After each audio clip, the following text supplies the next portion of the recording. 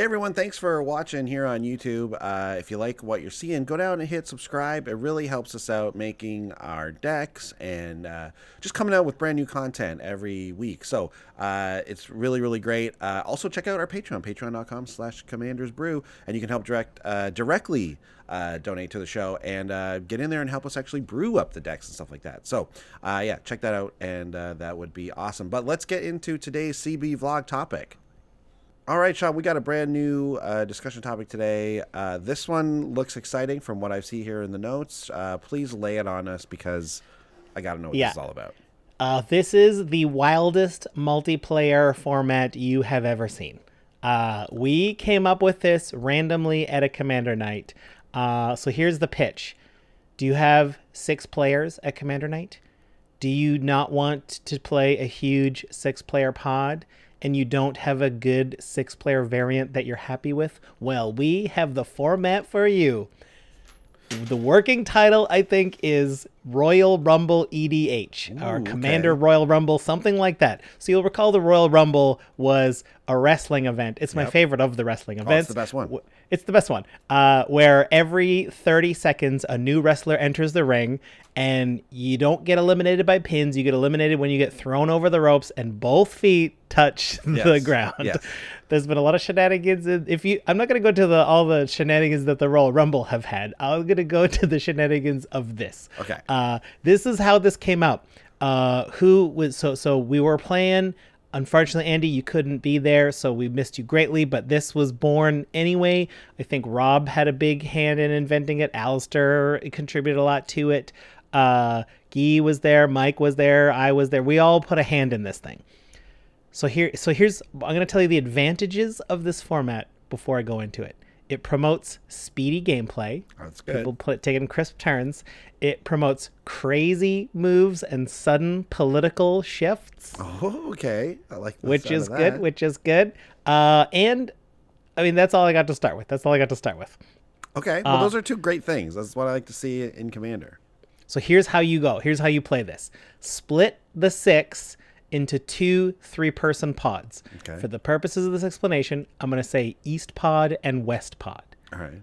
So now you play those games normally at a speedy pace, probably. That's what I'm going to assume everyone's going to want to play speedily. Mm-hmm. So then, what eventually, so so far so good, everything's normal. One of these pods is going to have a winner, mm-hmm. and as soon as they have a winner, so let's say East Pod wins, someone wins East Pod, West Pod is still playing, East Pod wins, the winner is crowned. They're very happy. The two people who lost from East Pod, they don't have a game. Now now they're out. They're not doing anything. If West Pod, that's the game that's still going on, if someone has already been knocked out, if there's already someone sitting there twiddling their thumbs, that third person will join the two losers from the first pod and they'll start a new three-player game. But what does the winner do? The winner, whether whether or not uh, West Pod is done or not, whether or not that's the, the second pod that hasn't finished yet, whether or not they're at three or at two players, the winner of that other game will just join the game with their current board state of wow. the game that's currently going. Oh, with their board state. Cool. They'll, they'll just bring the whole board state over. Uh, their turn. So whoever's turn it is when they when they like got the win on the other pod. Mm-hmm. So we we got to know whose person whose turn it is because the the winner with the crown will join in last place after that person. Okay. Right. So so if it's like player A's turn and it's a three player pod, then the winner joins in. They're now player four. Right. Like they, they don't get a turn for three turns. Let me tell you, this was crazy because then another game's going to start over the other side, and that other side has to play quickly because whoever wins that game is going to switch over to the other game. The games never stop. People trading back and forth as they're winning, shuffling up. You got to play speedy because you don't want you don't want like a winner to come in and you don't have a board yet like you don't want to develop it but also you want to get the win to kind of like go over there at the right time on things is super it was a super fun way it was very engaging very fun So is is the ultimate? So like, do you stop after a certain amount of time?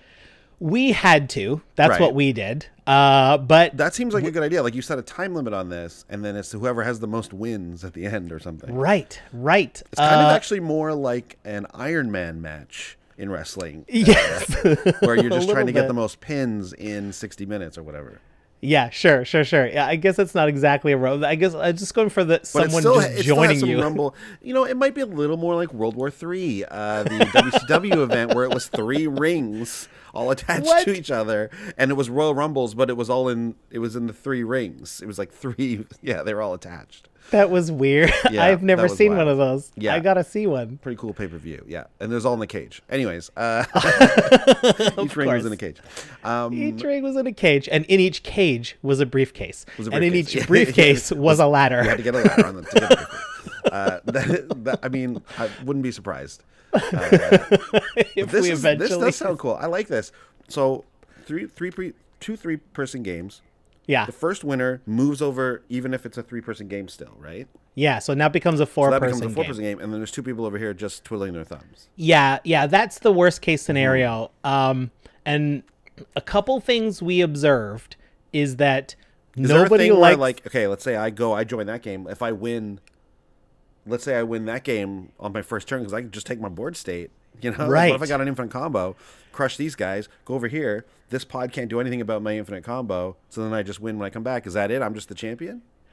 uh, You just I mean, crush both pods, right? th- this is the thing that yeah, like maybe if you do two wins in a row, you have to retire or something like that. Like you just can't keep going. That seems like a fair side fine, rule yeah. to keep it go. I think I think Well, you just tell you win, this. and then we, we just started over. Like Oh, maybe that the rumble. You're the winner of the rumble. you're the winner of the rumble. If you can beat both pods, like that seems like Yeah. that seems very difficult to do. Well, I tell you, it really is because every time someone came in new as a winner, the existing pod hated them.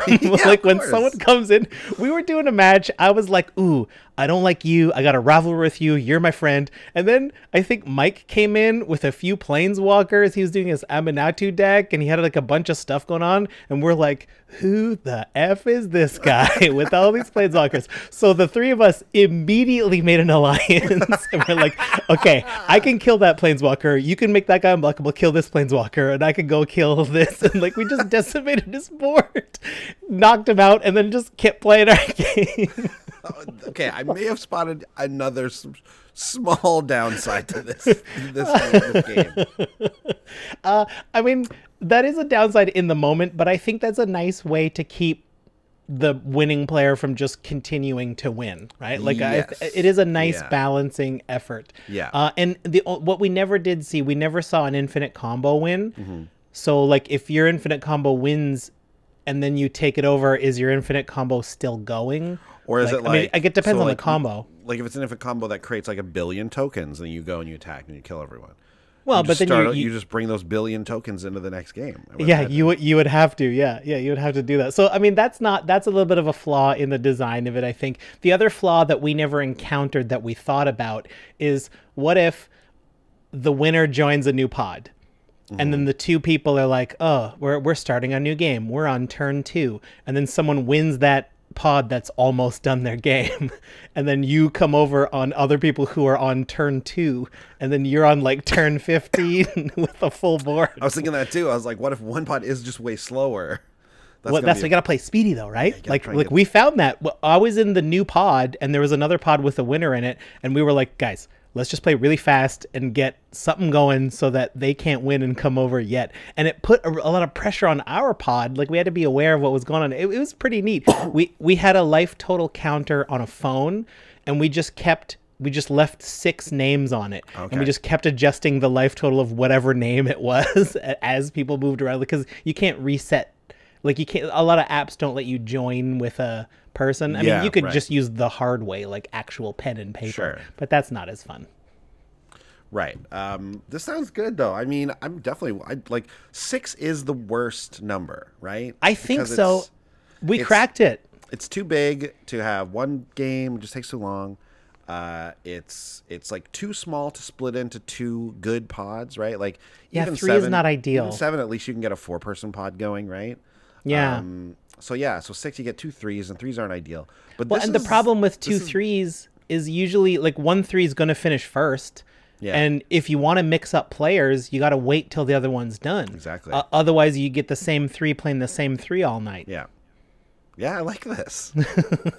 it's there's there's almost something I want to do where it's like is this too crazy where like the two players who lose once that player once this guy wins, the Yeah. two those two players, they get to also continue playing, Oh, for a second place? you know? Like Okay. like like they just they get to keep playing but it's a 1v1 game of losers now and then when a, when another person comes into there they're at least like so like what happens when the fourth per, the person in the fourth pod wins it's a different person let's say so mike came over into your guys pod let's say you won Yeah. now you go now you go play it you go start a brand new game against the two losers right Well, but no, but we're going too fast. No, so Mike came into our game and now we have four people. So Mm. Yeah. the other two people aren't doing anything. Yeah. Someone in our pod gets knocked out first. oh it's the knocked out so it's a loser pod That person goes and they just start a fresh game with three people. right okay And so we continue our game and then like so in theory, yeah, so so now that we're an advanced 3 pod and a beginning 3 pod, if someone else in the advanced 3 pod gets knocked out, they just have to wait around until someone else gets knocked out. But I tell you, like it's not the worst when you're out when you're like, "Ooh, someone's close to winning over here." You can kind of like trash talk a little bit and just get people to speed up cuz like, I think someone's going to win over here. You better have something ready for it. Yeah, I, this is there's a lot of variants you could you could include with this. A lot of Oh, yeah. alternate stuff to do. I think this is this seems really fun. I mean, now that we're brainstorming a little bit, I kind of am inclined to like. I think a lot of the Planechase planes are way too chaotic and overpowered. Mm-hmm. But I wonder if you could make like rings, like like, and you and then every match happens at a different ring, and in this ring, Ah. and, and you can't change rings. Like once you're in it, you're in it, right? But like when a new match starts, a new ring starts. It's at a new ring, and there's just little little things like like obviously one should be where there's the always the monarch. The first combat Yeah. gets it, right? Yeah. That should be in one of the rings. Yeah, you know, I'd like to see something like that where instead of like Planechase, I mean, this is a whole other topic, really, but Sure. uh, where it like Planechase sometimes will just like heavily favor one person's deck, right? It'll be so heavily. werewolves get plus two plus two and then you can make a wolf token or something it's like okay yeah I'm, i can make a wolf token but then this guy just happens to have this deck with wolves in it and not even that specific sometimes it's just like creatures get this and it's like okay well it just so happens in this three person game i'm the only one with a creature deck or something right Like, yeah, yeah. um, or like only Naya lands can tap for mana yeah or something then, like that. yeah and there's stuff like then there's then you sometimes you go to planes and it's just like nothing this doesn't affect anything at all let's just get off of this plane so something can happen Right, but you if you're the player who it sucks, you can't spend a whole. I mean, you have to spend a whole turn trying to roll that plane trying to chase roll that dice, stupid dice and if you don't get anything, you're like, well, there's my whole turn. Yeah. So not the biggest fan of Planechase for that reason. But I guess you but if you curate the the, the cards, right? Like you pick the cards, like it's gonna be a lot better. Yeah, Um, but if we if there was a version where like this sort of happened where you did things that are more generic like that, that you know are going to affect a deck. So they involved like they involved mana, they involved, you know, ta- like base rules, you know, like card what drawing about and know. What about it, to carry the wrestling theme forward? What if, like, in when you roll the Planechase die, there's different managers hanging around outside, and if you roll successfully, the manager, like, I don't know, destroys a creature for you, You- or like, two green, Bobby the Brain Heenan. yeah, like he, he, like, like your manager like throws an artifact in, like now you have like a sword. you get like a sword for one turn. yeah, something like that. That's kind of funny. It equips for free, and Yeah. uh, at the end of the turn, you exile it. Yeah, yeah, yeah, yeah. Or it goes back in the manager's zone, the manager zone. This is a this is now, this is again this is a whole other thing, but this sounds really fun. Like, yeah. this now we're talking. Like Oh boy. that's crazy. You go in with a mi- or like oh man, okay, whatever. This is a whole different thing. You know what? You know what? I, I know we're we're we're recording one episode today, and we'll record an episode next week. Mm-hmm. I'm gonna commit to brainstorming a bunch more, and we'll present a little slightly more developed WWE like Mr. Fuji throws the salt in the eyes. Yeah, And sure. So let's Like, all your out a creatures are top-down tapped. way to create that Yeah. Magic, right? So it's like it's like a sleep. You Tap get all the sleep on your creatures, yeah. Mr. Fuji does sleep, and Yeah, then yeah, like yeah. yeah. I don't know. Bobby the Brain gets up on the gets up on the ropes and like tries to distract the Uh, players. It's Paul like Bear lure or something. reanimates any creature. Yeah, he's a reanimator. Yeah, exactly. Bob, or uh, Jimmy Hart throws is the guy who throws the weapon in because he had the megaphone. Yeah, He throws in the yeah. weapon and they hit them with the megaphone. Yeah. Okay. Well, our our love of wrestling and magic is finally coming together. Finally. Uh, but this is this. I love this idea. Uh, I would. I mean, I think we all got to try this. If we get six people uh, at a This commander is the night, format. Yeah. uh, I think we all got to give this a shot and report back to us. Uh, let us know if you tried this out because Yeah. I'd love to hear some rule variants. I'd love to hear how it just went. Uh, One thing that I this. This brainstormed that I didn't mention is maybe it's like like I don't know. Do you want when the player comes in? Do they have to tap all their mana when they come into the new game, or do they come in exactly as is? That's a good question. Because it's weird. It, it it might feel weird, but maybe that's just part of it. If you can win, like you got to plan your wins. Like I could tap out to win, or I could try to win with all my mana open. So like when I get in there is possibly the way where like you win by doing something, and then it's like, okay, I leave these, but so when I go into the next game, I can just do this and win again. you yeah, know? maybe, maybe. I think you got to tap your lands. I think you got. I think you enter the game with your lands tapped. I think you're like, you're at the mercy of the table for a full go round, which Kind of, kind might, of. might be too harsh. But anyways, I mean, but worst case scenario, they knock you out immediately. You join the other two Yeah, you losers just you just beat, and you start again. yeah. All right. Well, I'm loving it. Uh, I'd like to hear what everyone else has to say about it. Uh, hit up the comments. Hit up Twitter. Let us know what you guys think. Uh, this is very cool, Sean. Thanks for bringing this in. You're welcome. Okay. Um, well, yeah. Just remember, uh, hit subscribe, help us out on YouTube, and um, we will see you guys on the next vlog. Bye. Bye. Thanks for watching. If you love what we're doing, consider supporting the show by going to patreon.com slash commandersbrew. And if you want to get any of the cards from our deck list, go to our TCGplayer affiliate link below. That helps us out too. And for a free way to help us out, consider sharing the show with some friends. Like and subscribe, add a comment or two. See you later. Bye.